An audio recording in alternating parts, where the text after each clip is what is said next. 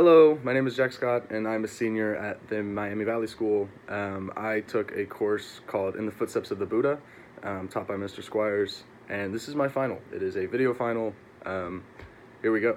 So, uh, the first thing that caught my eye in the Buddhism course was um, the fact that Christianity or other religions like that are, are typically um, referring to sky goddesses or gods. But Buddhism is a religion that is focused on the self and the power that's within the self. Um, and this is very different from any Western ideas that I've ever come into contact to or uh, any of my friends have come into contact to. Um, so I thought that was really cool. Uh, but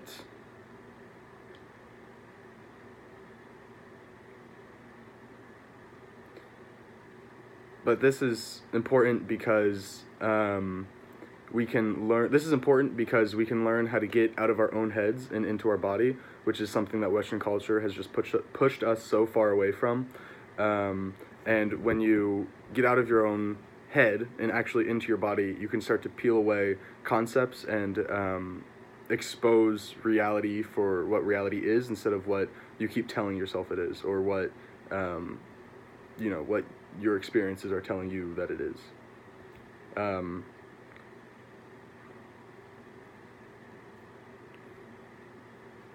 um, the next thing that is super related to the last um, is when Mr. Squire said, "If you are angry, you are half a step away from compassion," and this was uh, kind of crazy for me. Like I, I instantly typed it in my uh, my learning log, and I've been thinking about it almost every day because I get frustrated a lot, and um, like just the other week, my mom didn't pick me up from the school, and like I was really just mad because she said she would and then she didn't um, but I was at the school and I kind of just sat with the anger and was just like, okay, like why are you doing this? And I kind of laughed at myself in my own head um, and called myself out for for being angry. And I was astonished at how just relaxed I was after that, and how I was just kind of like, okay, like it's not that big a deal. There's no reason to be this frustrated.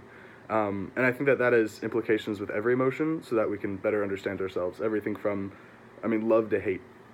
Um, it's really interesting.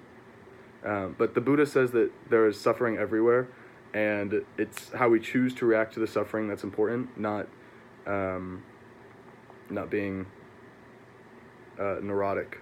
Not being a neurotic person is, is very important, and like hurting hurting others in that way. Um, the last thing I'm going to talk about is the sandwiches that we made in class, and this shouldn't have been like like none of us thought this would have been as big of, of an event as it was. Um, and we're redoing it today for our final just because of how much we all loved it. But we made these sandwiches and they looked super gross and they kind of smelled gross, but when you bite into it, it's like one of the best things that has ever existed for sure.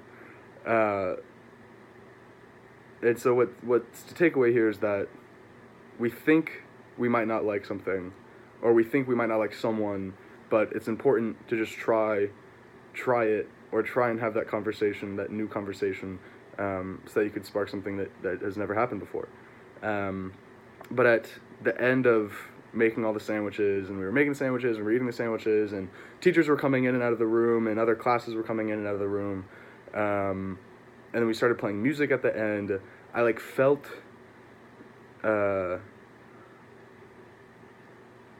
i felt like I felt like I was like tearing up or like really emotional, which was weird.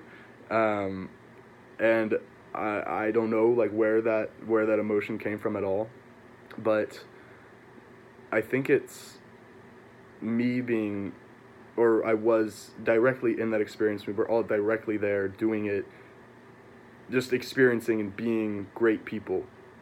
And I'm curious at what else I'm not experiencing like that because if making sandwiches almost brought me to tears, I'm very curious about what else I'm missing out on.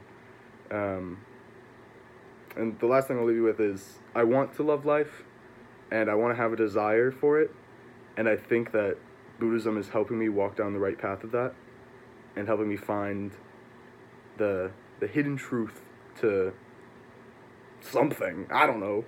Uh, but it's been a great class. I would recommend anyone to take it or any of Mr. Squires' courses. They will change the way you think, and you just can't be afraid of that. Thank you.